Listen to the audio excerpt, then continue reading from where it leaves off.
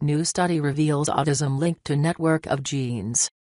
1 in 68 kids have autism, including my 6-year-old, nonverbal son, Liam, so it's no surprise scientists continue to investigate its genetic causes. In a recent study Stanford researchers have identified a molecular network of genes known to contribute to autism spectrum disorders, ASD, reports Fox News. This is a significant breakthrough in autism research because scientists have scoured the human genome for decades, not an easy task because there are so many genes. Published in the journal Molecular Systems, Biology, the study focused on genome sequencing for 25 autistic individuals in order to find common molecular pathways with mutations. Researchers discovered something illuminating a module of 119 proteins with links to ASD genes. The same genes were then found in 500 more individuals who were diagnosed along the spectrum. The module we identified which is enriched in autism genes had two distinct components one of these components was expressed throughout different regions of the brain, says Michael Snyder, lead author of the study.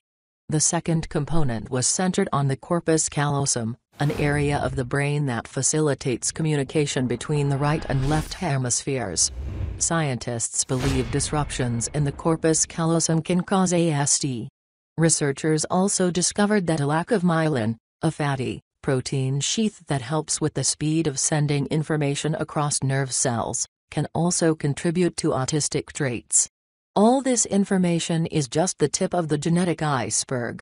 Scientists are still releasing new studies, and the National Institute of Mental Health even set up its own Autism Coordinating Committee a few years ago. In 2014 alone, researchers have made startling discoveries, including finding connections between prenatal development and autism. But there's still a long way to go. Still I often wonder, what does genetic research really mean for parents and kids on the spectrum? Will studying genes lead to a cure in Liam's lifetime?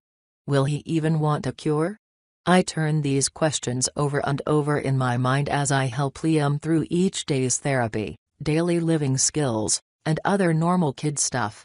I may not have all the answers yet, but I do know this learning about autism and genetics help me be a better mom.